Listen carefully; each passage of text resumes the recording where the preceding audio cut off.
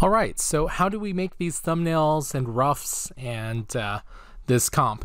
Well, uh, for the thumbnails and in fact for the the roughs, you can use any medium you want as long as you can get it to me in the Photoshop document when it's done. So um, I actually really encourage you to use a pen and paper for the thumbnails because the thumbnails are supposed to be really fast and loose and uh, it's really easy to get dragged into Photoshop and start fiddling with other stuff. But in order to use thumbnails, you either need a camera that you can access or um, a scanner. And if you have either of those, feel free.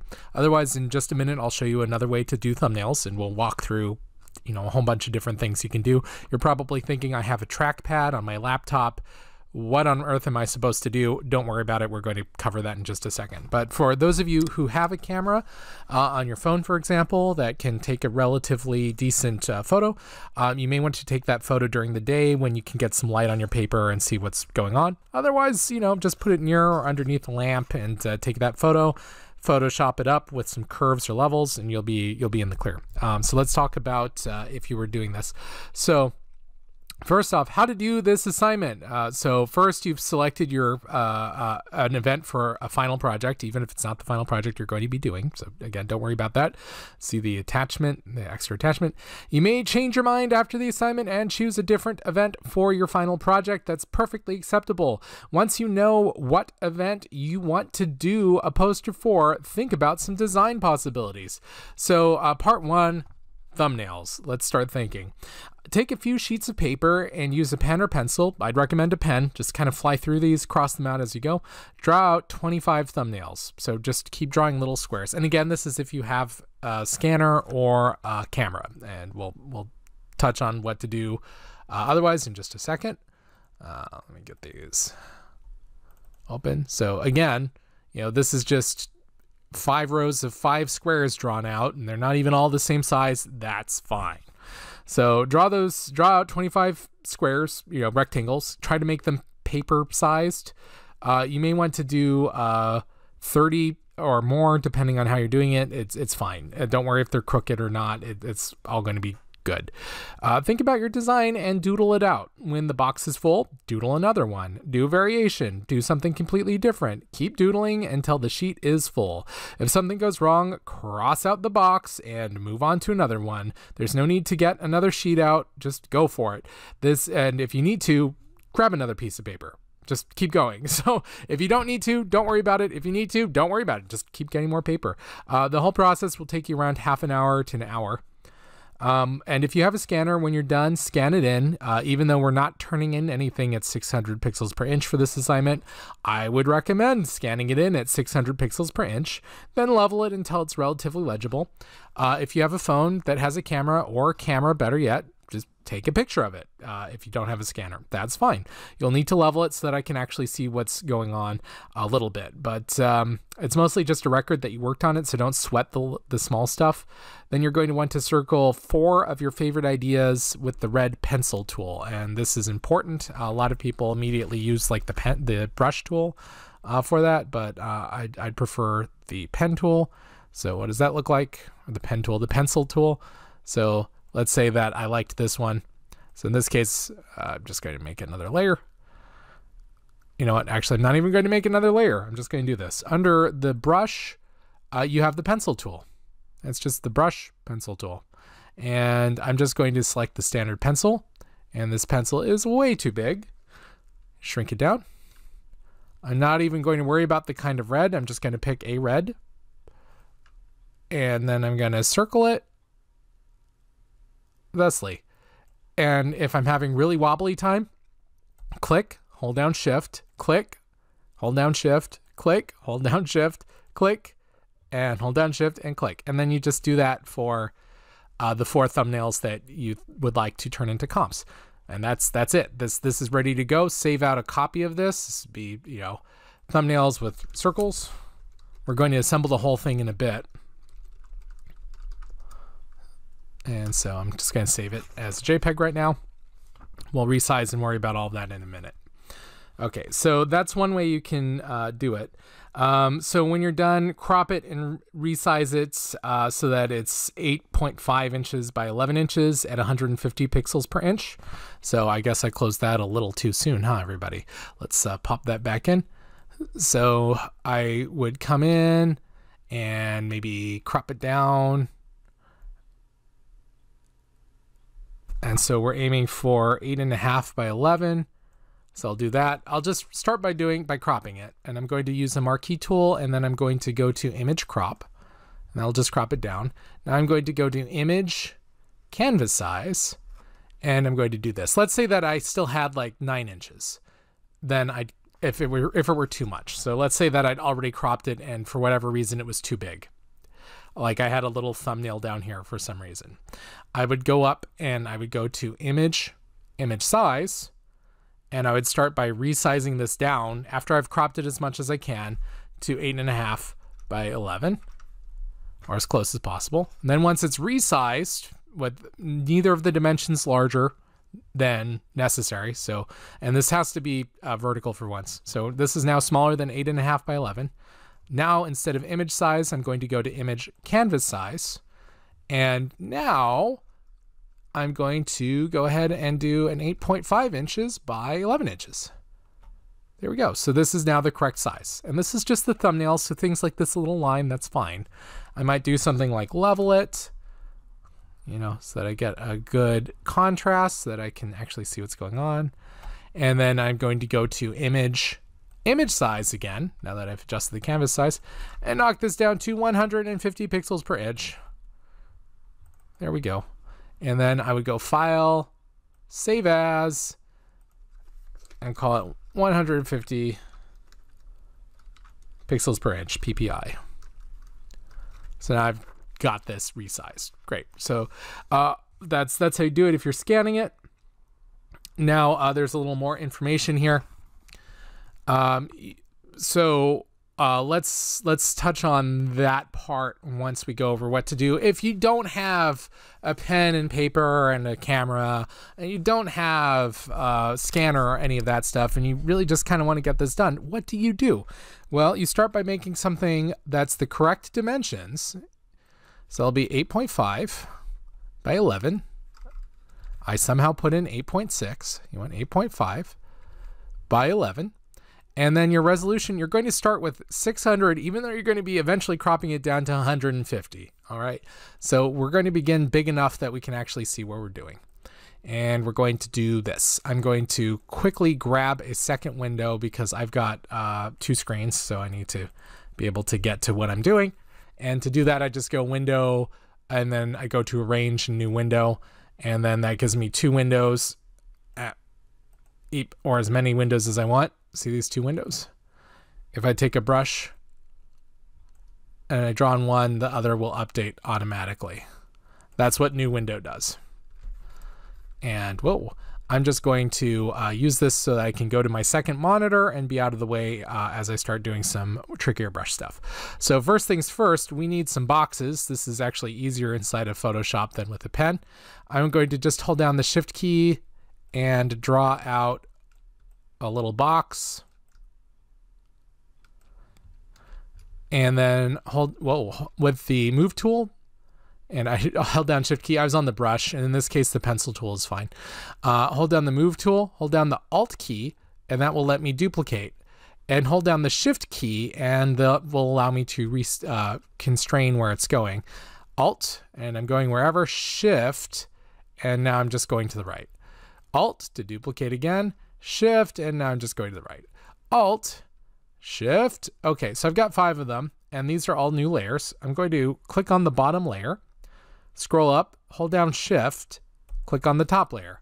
Now that I've got them all, I'm going to evenly distribute them by going up to the Move Tools options, and I'm going to select, uh, let's see, I want to do Distribute vertically? No, I need to distribute horizontally. Here it is. Distribute horizontally. And did you see them all wiggle around? So now they they have even spacing, which is cool. Now, what if I want them spaced even better?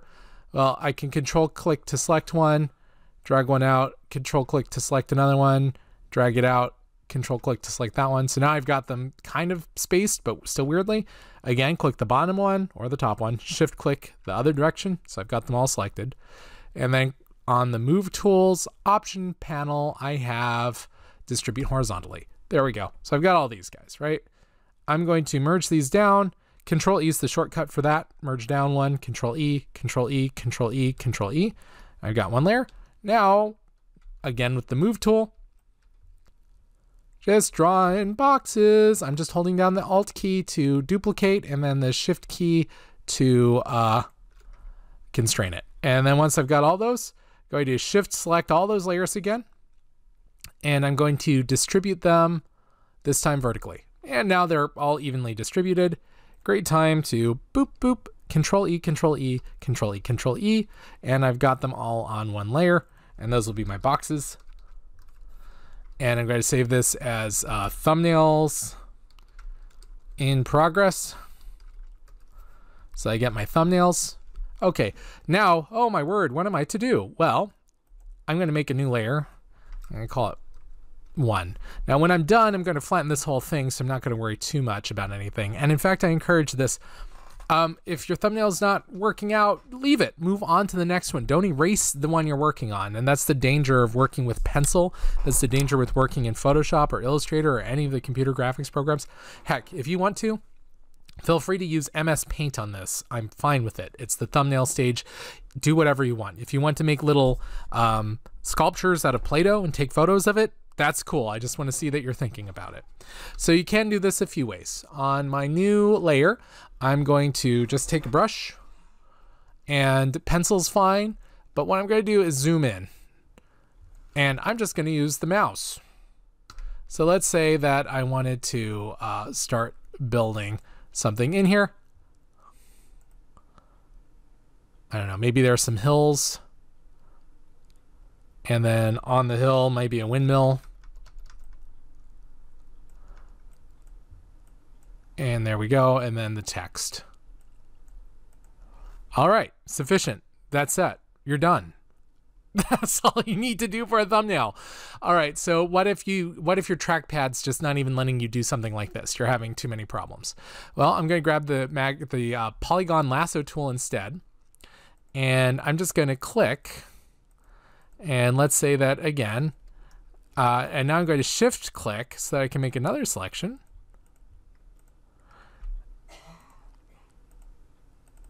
And I'm going to shift click again to make yet another selection. And still holding down shift, I'm just making selection after selection. And maybe I have a kind of windmill shape. And maybe it has, still holding down shift, some windmill arms. All right, and fill that with black. And then you'd want some text.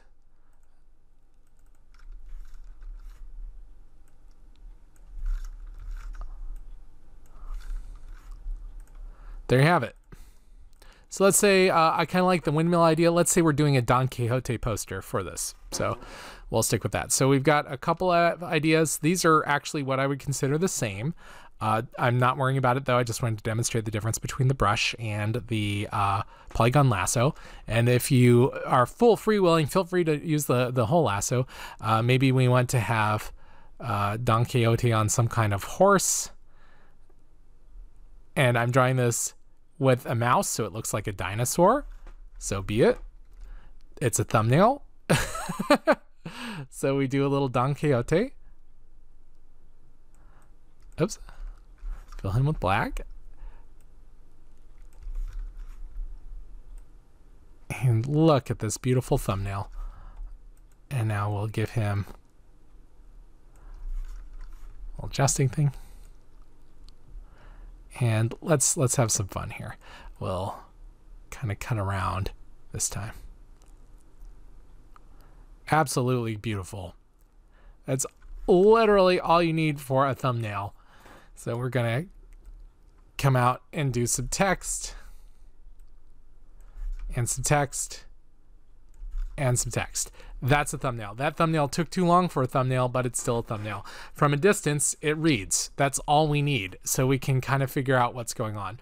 Now, you may look at this and you may go, oh, I don't like the placement of that. Not a problem. Just do it again with a slightly different placement. In fact, I'm going to do this as a few more chunks so that I can maybe uh, fill out the space a little bit more.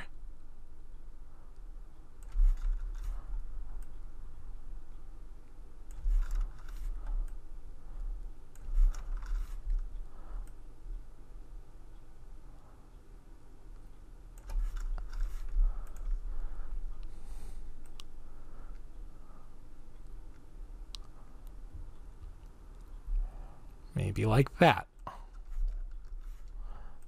Maybe I want to show his leg a little more, so I'm just going to delete out a chunk.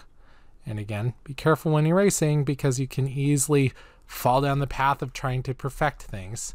That's not what we're trying to do with this. We're just trying to learn about our layout and feel our way through something that will feel good.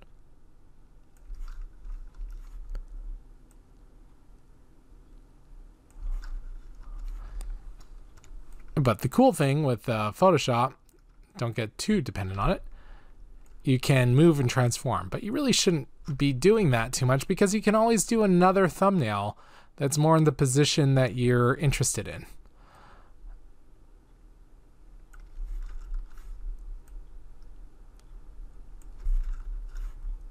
I'm kind of liking this better because uh, it feels a little more dynamic. There's some more motion. I'm going to have a windmill in it and I'd want a white spot in there just to kind of be the windmill.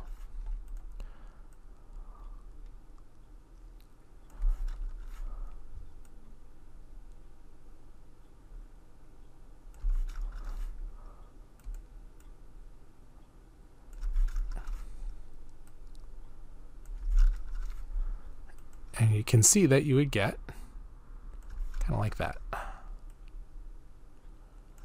a thumbnail. Now, the reason I would recommend if you've got a pen, this would have been done in like 20 seconds with the pen. But if all you've got is a trackpad and you can't even get the brush to go, this is absolutely fine. This is a beautiful thumbnail. The only issue I have with it is how long it has taken. All right. So you can see that we're working our way through some thumbnails. Now, what if you have something else like, uh, say, a tablet? Well, that's fine too. Just grab that uh, pen or that brush. And in fact, you're in a better position. I'm going to grab my tablet right here. And now you can uh, quickly do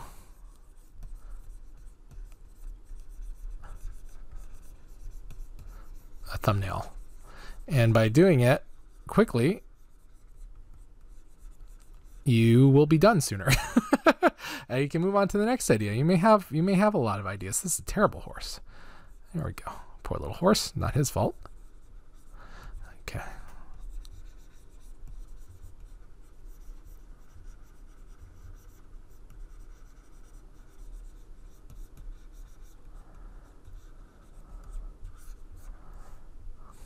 No Picasso, but hey. still still doing the thumbnail job. I gotta drop that down.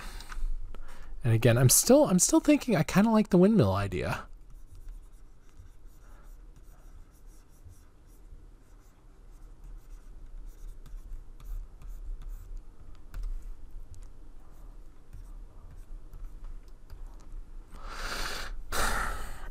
All right, and then you've got another thumbnail. Voila! If you have if you have a tablet, that's fine. Um, this this is it. That's all you need for thumbnails. But the issue is that you have to do it so many times, it starts to become very time consuming. So, uh, yeah, just uh, keep keep doing them, keep doing them, keep doing them. Again, uh, pen's probably going to be the the best way to do it if you have a way to capture it. If you don't have a way to capture it, anything else is fine. If you want to do this in MS Paint, I'm fine with that. I just need them eventually to be brought into Photoshop. So when everything is said and done and you're happy with all of this, do the same old trick as always. Click on the topmost active layer, Control Alt Shift E, and voila, you've got a flattened duplicate. And uh, now we're ready to actually assemble, start assembling. We'll say that we finished all these, even though we have not finished all these, because you don't want to have to sit here and watch me doodle out thumbnails for the next uh, what what would this be? Another half hour? Two hours? Oh no don't even worry about it. Okay so this is going to have to be resized. I'm going to move it to new document to do that and the way i'm going to do that is right click on this layer and then tell it to duplicate the layer. And instead of duplicating it to the same document i'm going to make a new document and i'm going to not even name it. Tell it okay so we've got this new untitled document. Close up my old one. Got this new untitled document Going to go to image, image size. It's already the right height. Yay! I'm going to make it 150 pixels per inch. And this is the size it'll be. See how we lost some detail? That's fine. That is perfectly fine. Uh, the reason that that's okay is that they're thumbnails. So don't don't even again don't even worry about it. So now we've got our thumbnail.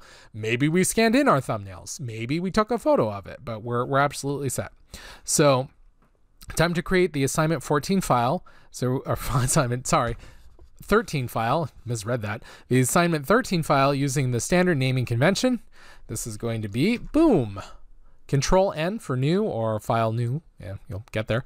Uh, this is going to be eight and a half inches wide, 11 inches tall, 150 pixels per inch. We're going to name this correctly just from the start. Last name goes here. First name goes there. Boom. Uh, I'm going to use the working RGB. That's the sRGB IEC 6 1966 version 2.1 right there. Uh, standard RGB color 8 bit. Boom. Paste that thing in. Oh, I forgot. I didn't copy it. Control A, Control C. Uh, paste that thing in. So we, and why did I paste it? Well, another way to do it. Just wanted to show you all the ones. So how many thumbnails are here? Uh, 5, 10, 15, 20, 25. That's the minimum. And really, that's what you should be aiming for. And I have them all on one page, so I'm going to say thumbnails 1 through 25. If you have two pages, uh, label however many thumbnails you have on them. So, like, if the first one, say you did one you didn't like, and you had come in and you like scratched it out, so now you need a whole new page of thumbnails. And maybe you did that a couple of times. And you're like, oh, that one didn't work. Things went wrong. Whatever. You just scratch those out. So now you need a page that just has three thumbnails so be it. Oops. We have a page with just three thumbnails. So what we're going to do is label these thumbnails 1 through, in this case, uh, 22. Thumbnails 23 to 25. Just counting, that's all. All right, so we've got our thumbnails.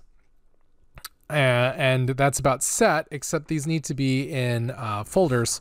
So what we're going to do is make our folder for this, and this will be called thumbnails folder. So we're folder, I'm sorry, groups. We need to make a group for this, and this will be our thumbnails group. Thumbnails. And then you grab them and toss them in, and you've got your thumbnails group. Ta-da, isn't that great? Uh, from here, it's time to start going on to our roughs. So we'd pick our four favorite thumbnails and we would produce uh, four roughs. So we'll do that in the next video. Uh, although I should say this, because this would go on the on the thumbnails. Um, on the thumbnail, how do we pick our favorite? We go in, grab a red.